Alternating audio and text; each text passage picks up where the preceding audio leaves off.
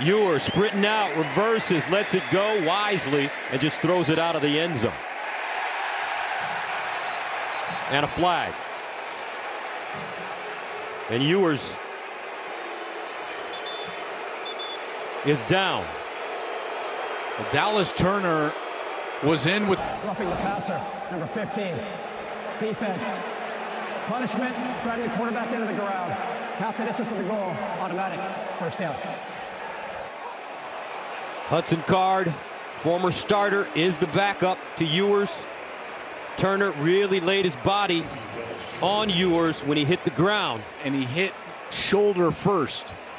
Gus, anybody that's played the position knows you go down shoulder first like that. That is a, a recipe for collarbone, AC joint, those shoulder injuries. I've certainly had it. Matt Leinart's had it. Anybody